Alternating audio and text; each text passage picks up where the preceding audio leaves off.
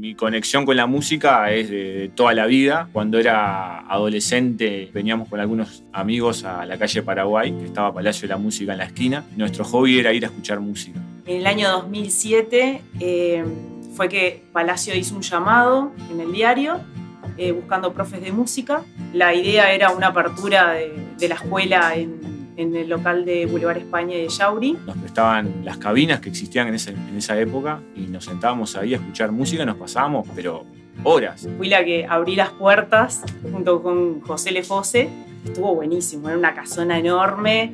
Este, llegamos a tener más de 300 alumnos. Hace 16 años que trabajo en Palacio de la Música. Entro en un principio en el local de Portones. Surge la posibilidad eh, de ir al local de audio profesional y ahí estoy hace 13, 14 años.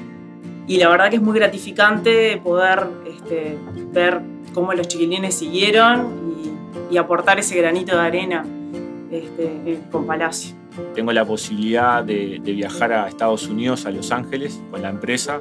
Me encuentro con un cantante cantante Bono y tuve la posibilidad de estar con él y estar hablando como si estuviéramos en la esquina de mi casa o en la esquina de cualquier barrio. En el 2013 me fui de vendedora para el gaucho, para la sucursal de gaucho, y después enseguida me llamaron para la administración, tremendo equipo también.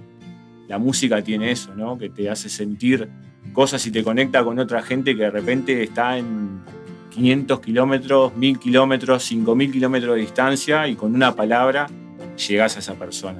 Uno a veces pasa más de 8 horas en, la oficina más que en, nuestra casa, entonces este, es un grupo de compañeras que más ya como una familia.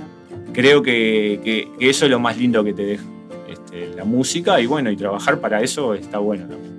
Eso, eso me parece que, que es lo más valioso. Lo que me queda es, es que la música conecta.